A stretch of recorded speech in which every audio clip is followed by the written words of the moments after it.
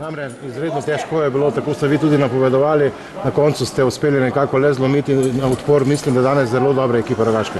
Ja, ponavadi sem slab napovedovalec, tokrat sem imel 100% prav, tekma je bila izenačena, ne vem koliko krat, nobena ekipa ni uspela ustvariti nekakšne prednosti.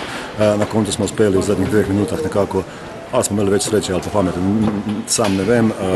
Enostavno težka zmaga, ampak zmaga je zmaga, dve točke so na kontu. Nažalost, tistih, ki so zamržali ni, so že pozabili, ko smo tudi bili blizu. Imamo dobro situacijo na tabeli, imamo, če preskočimo pokalno tekmo, torej Rogaški, lepo, lepo šanso, da vzamemo nove točke Partijom v Ljubljani v sobotu in da, da, da nekako držimo to, to četrto oziroma tretje mesto z dvema zmagama na skoku, a seveda to še vedno ni nič. Mi samo moramo držati ta tempo, sve s to, s to tekmo imamo, igramo štiri tekme v desetih dneh in bo zelo težko. Uh, Zaenkrat uh, se pripravljamo za pokalno tekmo, ponedeljka dalje, uh, bomo pa tudi za, za prvenstveno. Uh, čestitev bi res resnično navijačem obe dveh ekip, ekip, ki so se pokazali v sjajni luči, brez kakšnega incidenta, samo navijanje in uh, mislim, da ta derbi drugačko Šentjurjem bil zelo zanimiv tudi za tiste, ko niso navili zadobljeni. E, prednost štirih točk v Rogaški Slatini v pokalu Špara bo to zadostovalo.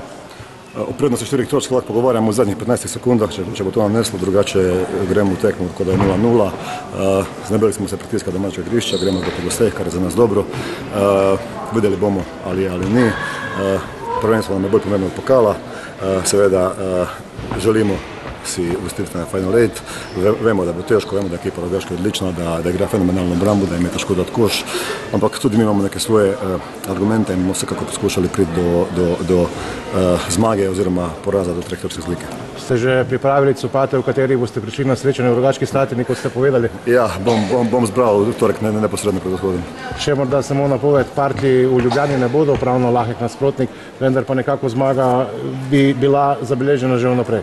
Jaz bom tako povedal, uh, partija nam nič ne more, da smo mi pravi, ampak uh, z, dobro je tudi, da je Maribor tam zgubil, dobro je tudi, da je Helio zmagal šest točk in mislim, da je to uh, zelo dobro pozorilo in mislim, da je mobilizacija prava in da enostavno moramo prinesti točke, a seveda vlogo favorita treba vedno potrditi na igrišču, ni dovolj reči, da smo boljši, uh, žoga je okrogla in uh, seveda uh, maksimalno angažma in nove točke in potem seveda še večji derbi Hrvaškem v torek.